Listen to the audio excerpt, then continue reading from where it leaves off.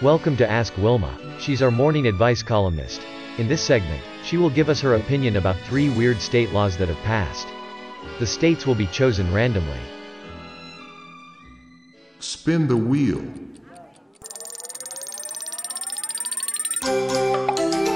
Okay, Wilma, in Louisiana, it's illegal for a woman to drive a car unless her husband is waving a flag in front of it.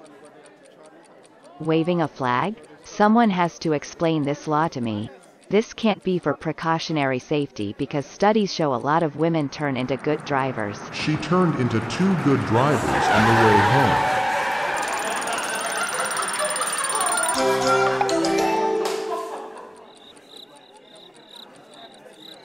Wilma, in Beech Grove, Indiana, it is forbidden to eat watermelon in the park. This law was needed. I once saw a jogger slip on a watermelon rind in a park, broke his ankle and told EMS he was okay and nothing but an onion can make him cry. So someone hit him in the face with a frickin' watermelon. That wuss cried like a baby.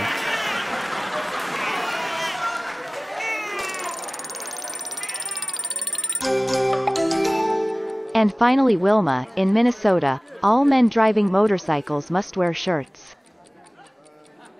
Excellent law. I was in Minnesota a few years ago and no shirt flappy biker boobs were everywhere. Thank God for shirts.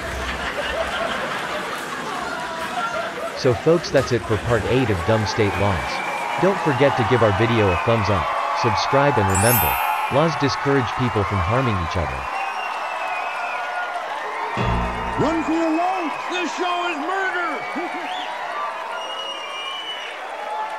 murder!